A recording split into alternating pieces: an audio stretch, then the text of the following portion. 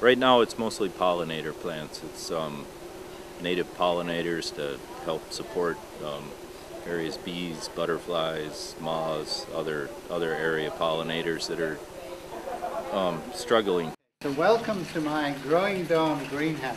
It's not mine, it belongs to KBIC, but I designed uh, the growing dome and we're going to have a little tour. The idea is grow as many big plants as you can in the summer so the leaves shade the soil. And also I would recommend getting some kind of trees growing in here. Um, you know, I, I always like to have a dual purpose, but you could do a combination, you know, of, of your native plants plus some edibles. I mean, let herbs grow really well. This, this produces a Mediterranean plant, grow some herbs. Uh, there's a whole bunch of things, fruit trees, herbs, vegetables, as well as, as a huge amount of native plants for planting outside. So I see it as a multi, multi-purpose space. And so I always grow fruit trees because I love fruit.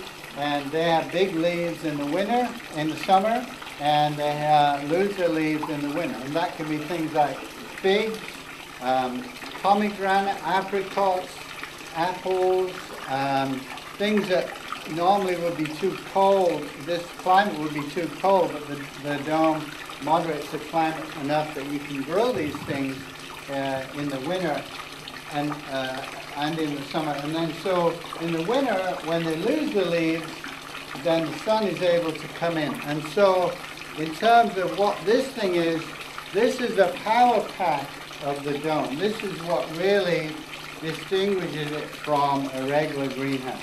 But this, I call this a year-round enclosed garden because that's essentially what it is.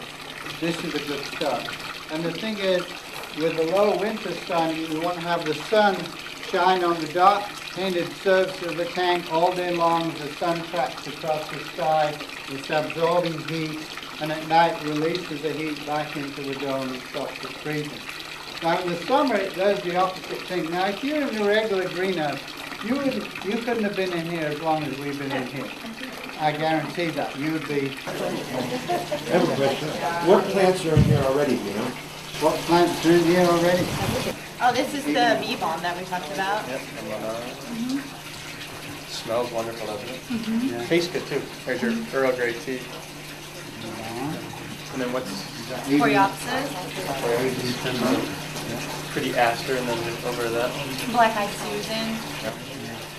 But they're looking really That's healthy, aren't they? primrose. The only comment I would make is that generally when people sow seeds, they sow them too thickly. That's me. Everybody does. Everybody does. Everybody. Everybody. It's so hard to believe that those tiny little things are going to grow into a massive plant. In your case, you want something to survive in the stamp sands or the farmer stamp sands. I would say that more clumps and plugs will give them a chance. And then, you know, you've got beautiful roots here. Oh, and- yeah. And, and so taking some of your soil plus whatever you put into pots, Yeah. you'll be, you'll be good to go. And Yeah. you can have plants out for a little while like this and they're not going to, to die, but then you just have to be careful about putting them back in and